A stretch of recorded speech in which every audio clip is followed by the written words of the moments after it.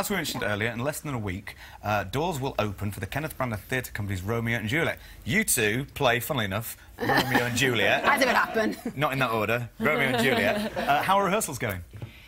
Good. I mean, we, we are moving into the theatre tomorrow to start tech. Um, so we've had five weeks of intense, grueling. I just got a fear when you said we open in a week. I know, it's horrible. Oh, gosh. And there's Yeah. been loads of different interpretations and adaptations. So what's your take on it then? Is there still a balcony at least? Yes, I think that's not Are you a allowed to say? spoiler. That's not a spoiler, I don't think. But are you doing it in the traditional language or is it you know, set in modern day? It's the traditional. We've just cut out the boring bits uh, and keep it. It's really exciting. And it's very, it's contemporary. It's very, mm, it's like a thriller almost. It's very passionate, very Italian.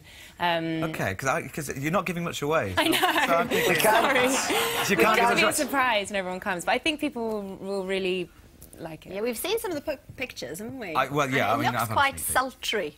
Would that be the word? Stop it there it is.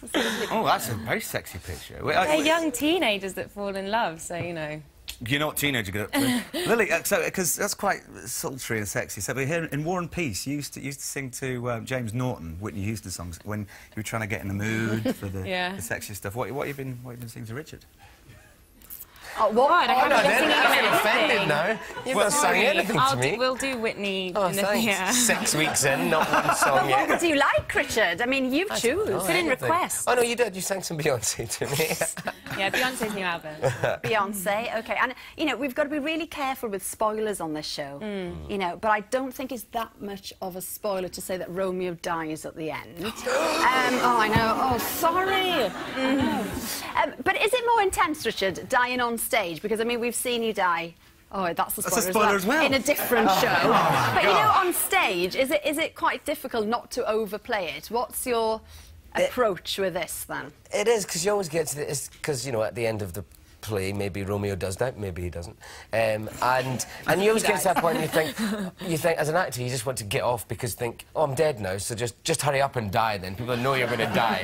Um, and Don't actually- milk it. Yeah, don't milk it. Don't kind of. Uh, uh, yeah. Um, but but you d- you just try and kind of do it justice to what it needs to be at that point. It's, it's not much. it's not really a lot of- sad, it's- it's sad. It's not fun dying every No, night. and it's the you know it's the peak, it's the climax of the whole piece. At least so I'm you- prepared for it now. so I I know to take tissues. But Lily, we heard you learnt your lines for the, for, for the, for the role in, uh, in a car park in Atlanta. That's not really method for Romeo and Juliet, unless it's this new version set in a car park in Atlanta. No, it's not. Although that would be really cool. Um, no, I was I was filming uh, Baby Driver, Edgar Wright's new film, and Okay. um, I had endless night shoots in this cold, dark car park, so it was the perfect place to land Juliet. exactly. And you're in Bastille Day, aren't you, Richard, with Idris Elba? Yes. One's your favourite, Idris Elba? Oh, yeah, Alex's one's your favourite. favourite or your favourite? Yeah, well, either way, it doesn't matter.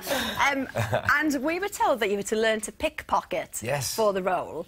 So are you actually any good at it? Well, I got good, or at least I, I thought I got quite good at it. Um, and then I and then I realised that everyone I was pickpocketing was was paid to make it look as if that they'd not noticed. so in my head, I think I'm great, but actually, I'm probably rubbish. That Maybe true. Or maybe they just enjoyed having his hands in their pocket. yeah. That's a bit weird. I could do that forever. uh, but you, you must have had lots of fun with, Id- Il- with Idris. Oh, yeah. We had a great time. And we kind of trained for about six weeks before we even started. So we're kind of running about this empty warehouse. You know, I was r- b- running away from Idris most of the time while shooting some guns. And, you know, it's kind of the, the best uh, job. A couple of boys had a good time. Yeah. And Romeo and Juliet now completely different. Very, very different. Just Yeah. running away from Lily all the time. Running running towards me. oh, sorry, running towards Lily. well, we, we can't wait well. to see it. We really can't wait to see it.